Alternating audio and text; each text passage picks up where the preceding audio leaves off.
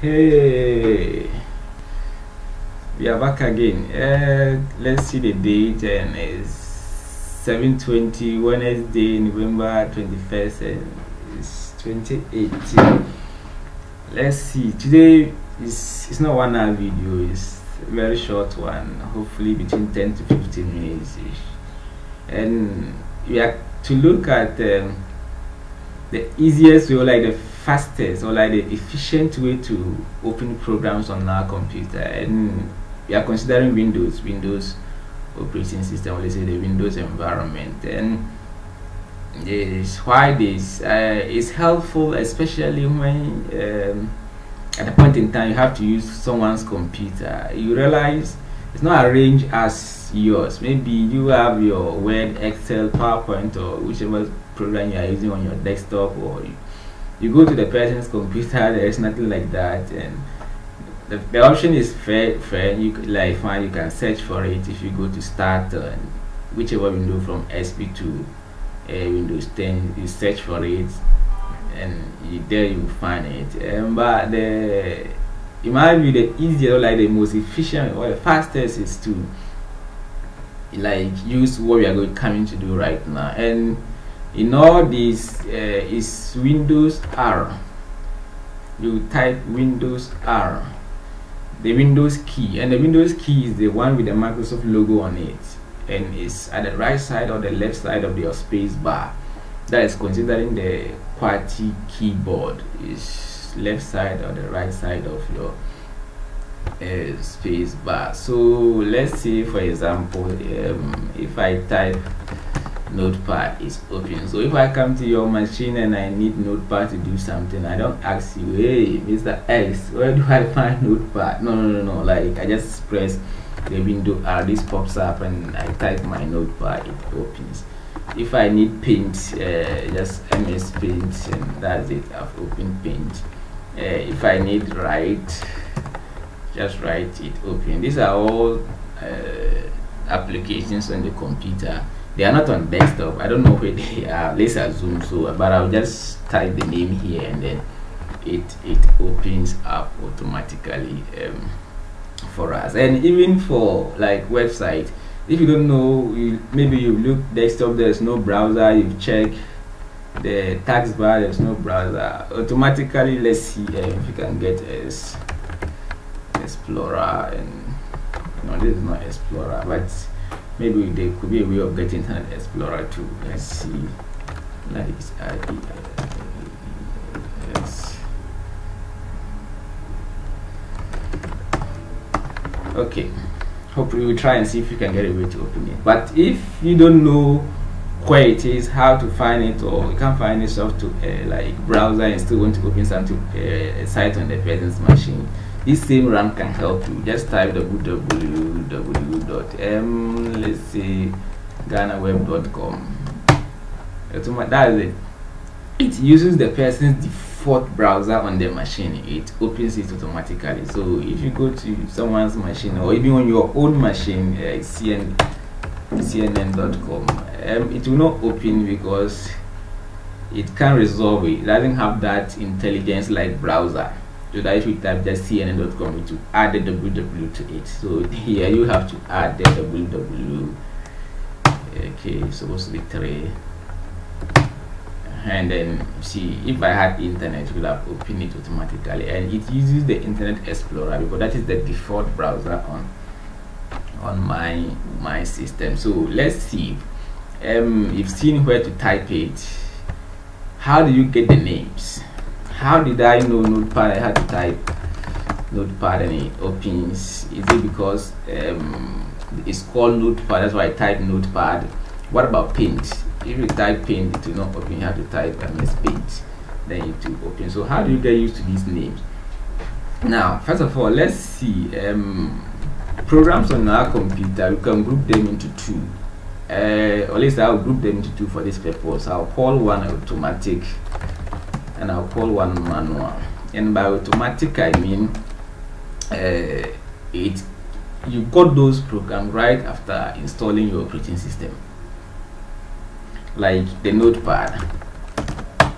No one has ever installed notepad uh, on his computer. As soon as you install a um, operating system, whether from, from XP or whichever version, you automatically get sorry, you automatically get notepad. So those ones I'll call them automatic. And to know how to call those ones, you search for them from this folder. If you go to your drive, C, Windows, and then um, System 32, this folder. So this is where you search for the programs. And the key to search for those names are to find those with exe the name .exe so that they are executable. They are applications.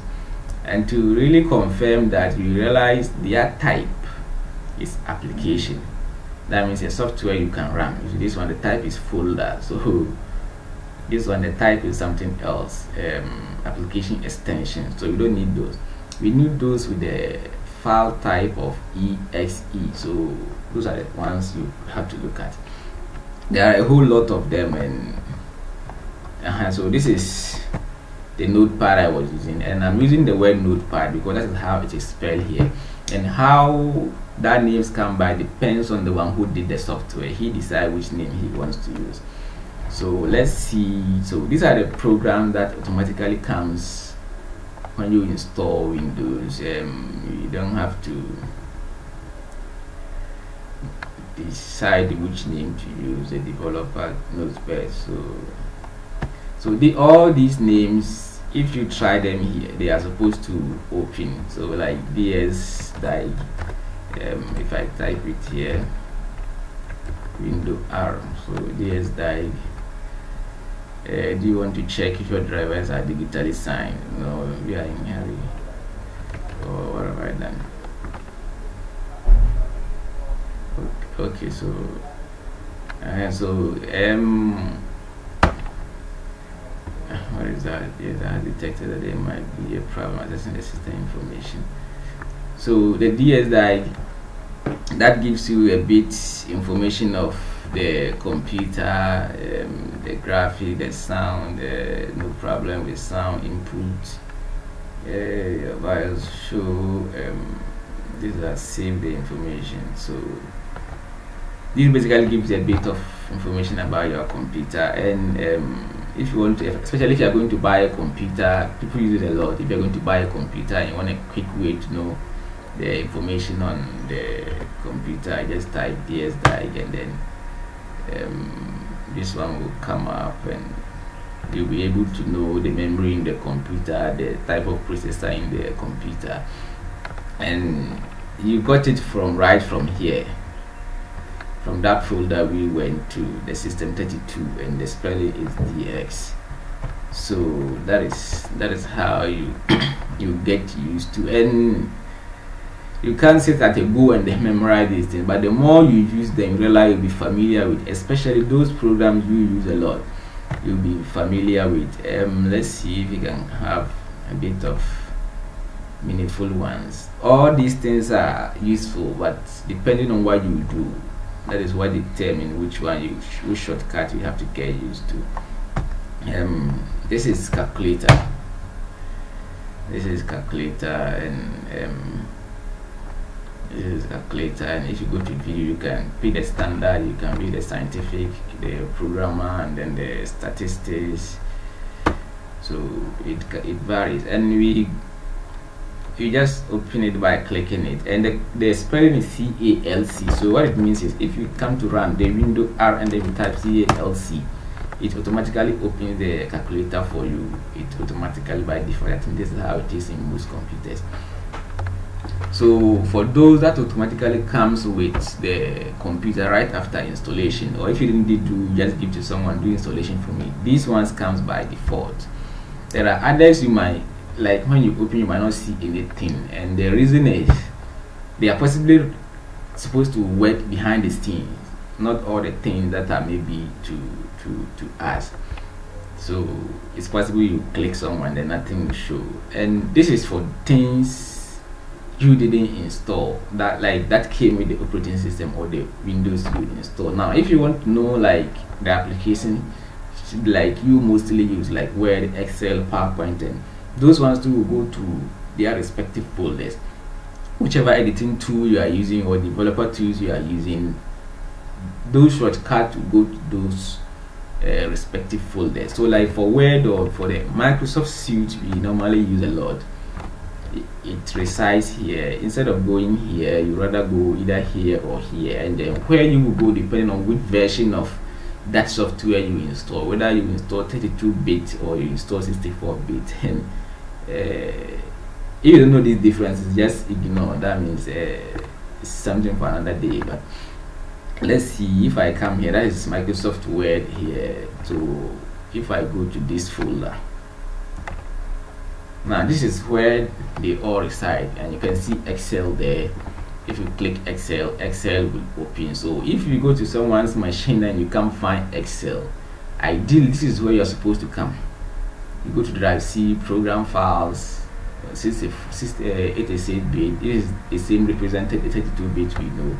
And then office and then office uh, 14 if it's different version my uh, office 10 like microsoft the suite i install is 10 if yours is 16 maybe this can have a different name or if yours is 2007 it can have a different name. But if you finally land yourself here you see the names used and this is excel. If you click excel open so what it means is um, if you come here and you type excel that same excel will open.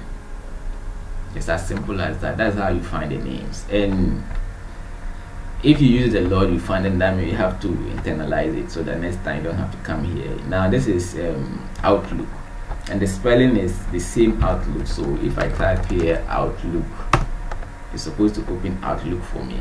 Um, let's say um, pub that is a pub that's publisher um, that is publisher it opens publisher for me and then um, so basically this is how you find so let's say you use excel a lot so you just you know, excel you type it direct and let's see almighty word if you can find word so um let's see which one it's, it's can run on your computer version so um, this is how word is spelled. Word is win word. So w-i-n that's win word. So we come win word and it opens word for you. So that is it. If the after installation those programs comes by default which most people don't use anyway. So but there are a few people who still who are still interested in those ones. Like command prompt cmd and it opens command prompt. You can change directory things like that. If you search for it here to cmd you're supposed to see command prompt. Uh, not here but in the um, other folder the 32 it goes by default. Here you can search for cmd and then you will find it. Uh, the ax that's it here. And i type here cmd because that is how it is spelled in the system. 32 folder. And I'm typing here Excel because Excel because that is how um, sorry you, you can also use browse. If you come here and you can't really remember for let's say for the first time you can't remember the program the name you are supposed to you can browse. Instead of going to my computer and then drive C you can also browse through here uh, through browse and then go to that rightful place and search for the program to to load. And that basically that is it. So access if you want to open access is uh, access it's access and to open access for you. And uh, you see access is let me see um, if I type um, ms uh, access is small cess it's still open. Like either in capital letters or in small letters is still open. So it doesn't matter the name you type whether it's capital you're typing it small or it's small you're typing it capital or it's capital you're typing it mixed it doesn't matter. So technically you say it is not case sensitive. It's not case sensitive. And what it that what it means is if someone give if you give that name to tell someone who will type it in excel the person can decide to say capital excel or small excel is still way. so like like uh, email emails are not case sensitive. Like so you don't give your email to someone and tell him uh, or like let me write your email then you say uh, I'll say Kaunda then you ask me is it capital K or small k? No no, no it doesn't matter. Emails are not case sensitive. So either you type it capital letters or you type it small letter it will work. But passwords are case sensitive your own password of course i will give you mine. So your own password if you type it capital letter there is a key in it and you type it capital letter later if you're typing you make it small it won't work. So passwords are key sensitive but these names are not and your emails are not. And mostly um, usernames are also not case sensitive. Usernames are mostly not case sensitive. Occasionally you can find there's always that gray area but for emails i've never come email that is that is case sensitive or emails are not case, case sensitive. So basically that is that is it uh, it for for today. We just look at a simple way to open programs on your computer first start you might go a little bit slow but the more you use you realize these things are very very handy especially uh, you go to cafe you, you just type uh, WinWord and then you open it. And if you type WinWord and it doesn't open that means WinWord Word is not installed on that computer. It's, it's simple as that. You don't even have to ask do you have Word? If you just type and you can't find Word doesn't pop up. Like you type Word and instead of um, showing it apps like it will tell you something like uh, WinWord can't find. So that means it's not on that computer. So that's what you just look at and you've seen even you can use it to open so many like whatever websites you want to open. You can type it right here. You don't have to go and search for browser. The system will use that browser for you. So basically this is what we have for today and it's already 740 uh, 42 and uh, it's time for work. So have a nice day